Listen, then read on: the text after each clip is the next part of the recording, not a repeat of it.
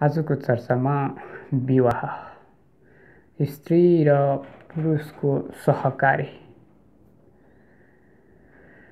स्त्री र पुरुष व्यावहारिक गुजराको लागि मात्र होइन प्रकृतिमा जुन सन्तानोत्पत्ति सृष्टिक्रमको सिलसिला रहनको लागि पनि रहन्छ यो पहिला एककोशीयबाट यहाँसम्मको उच्चता आएको हो यो उच्चता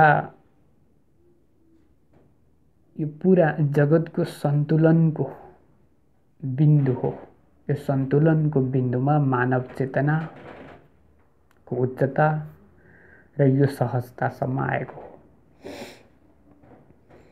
अब यसलाई हामीले विवाहको व्यवस्थामा तय गरेका छौँ जुन मानव जातिको लागि सांसारिकताको जरो हो सार हो यो नै मूल हो।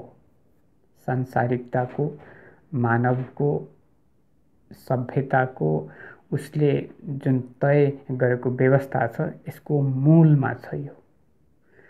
यो मूल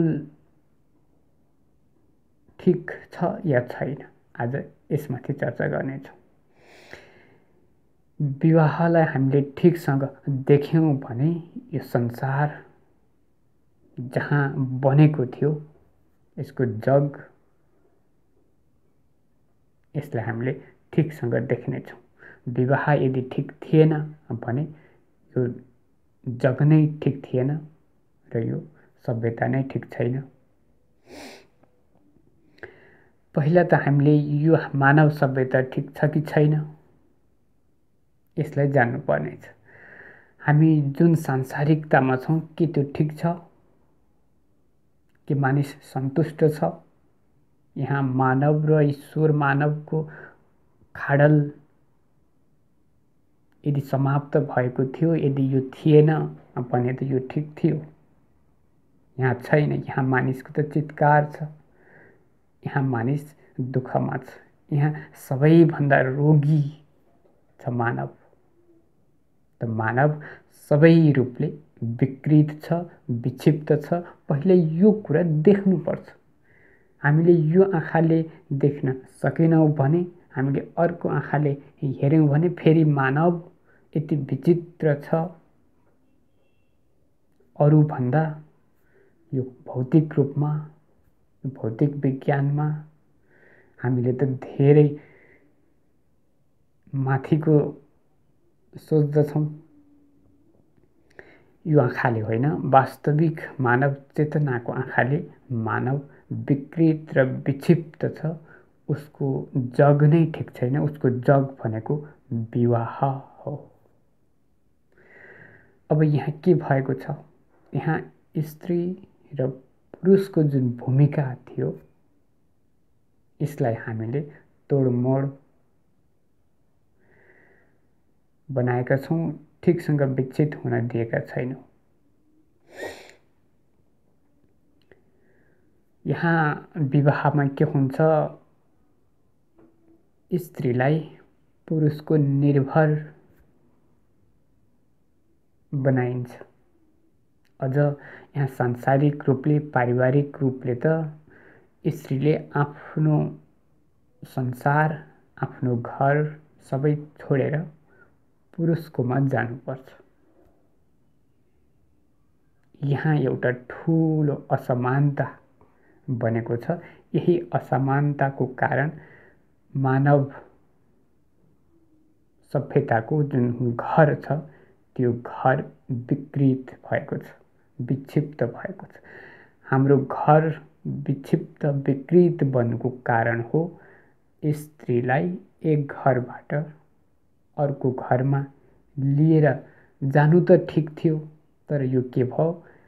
पुरुषको घरमा जानुपर्छ। यो निर्भरता बनाइयो यो बाध्यता बनाइयो। यहाँ के हुनु पर्थ्यो पुरुषले पनि आफ्नो घर छोड्नु पर्थ्यो। यसलाई गहिरो गरी अनुसन्धान गर्नुपर्नेछ। यसलाई गहिरो गरी पहिचान गर्नुपर्नेछ यहाँ दुवैले या त घर छोड या दुवैले या त घर जोड। विवाहको यो मूल मन्त्र।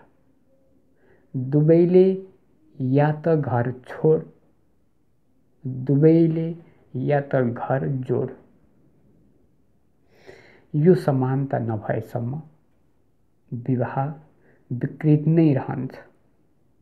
विवाह विकृत भयो भने सारा मानवले तय गरेको सांसारिकता विकृत हुन्छ। यो जग नै विकृत भएको छ। अत यो समानताको लागि अब राजनीतिक रूपले धेरै सोच भएको छ। यहाँ बाबुआमाले सन्तान पनि नचिनुन्। यस्तो खालको साम्यवादसम्म जानु छ यस्तो खालको आदर्श राज्यसम्म जानु छ जहाँ सन्तानले बाबुआमा नचिनुन्। एक समयमा गएर सन्तानले बाबुआमा पनि नचिनुन् त्यो निर्भरता नहोस्। यस्तो सोच त धेरै पहिला पनि भएको छ तर यसको लागि पनि यहाँ त्यो चिन्नु र नचिन्नु ठुलो कुरा होइन। हाम्रो जग ठिक भयो भने। यहाँ फेरि वृद्ध अवस्थाको जुन हामी रोग छौँ जुन विक्षिप्त अवस्था छ जुन रोगी अवस्था आउँछ जुन अरूले सम्हाल्नुपर्ने अवस्था आउँछ त्यो रोगको लागि रोगले मात्र होइन यहाँ सम्पत्तिको जुन व्यवस्था छ। यसले पनि हो। सम्पत्तिमा पनि हामी विकृत छौँ रोगले पनि विकृत छौँ सबै तरहले विकृत छौँ। र पनि हामीले विवाहको जगलाई ठिक बनायौँ भने यो विकृत यो उल्झन सुल्झन सक्छ यो स्वाभाविक बन्न सक्छ। यहाँ मानिस रोगी त छ यहाँ रोगी मानिस बन्नुको कारण छ। र पनि त्यो रोगको आँखाले भन्दा पहिला हामीले यो विवाहको यो जगमा ठिकसँग देख्नु पर्नेछ त्यो जग ठिक भयो भने त्यो रोगी मानिसलाई पनि हामीले ठिकसँग व्यवस्थित गर्न सक्छौँ। यहाँ त रोगी बन्नु नै हामी ठिक छैनौँ त हामी भुलमा छौँ। हामी सहज रूपमा शरीरलाई त्याग्न सक्नु पर्थ्यो। सहज रूपमा बुढो भएर आफै यहाँ अरू कुनै पनि जनावर बुढो भएर सन्तानले स्याहार गर्नुपर्छ भन्ने कहीँ पनि छैन। ऊ जब बुढो हुन्छ ऊ सहज रूपमा जान्छ। तर मानिस यति विक्षिप्त यति विकृत भएको कारण उसलाई निर्भरता चाहिन्छ। अझ सम्पत्तिको ठाउँमा पनि मानिस विक्षिप्त छ विकृत छ यहाँ पनि भयावह छ। त्यो त्यो पारिवारिक रूपमा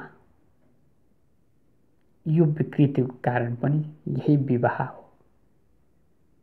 रोगको कारण अलिक टाढा भए पनि यस यो सम्पत्ति यो सांसारिकता यो सबको कारण विवाह हो। पहिला विवाहलाई हामीले ठिक बनाऊ यसको लागि एउटा सूत्र एउटा मन्त्र हो कि दुवैले घर छोड कि दुवैले घर जोड।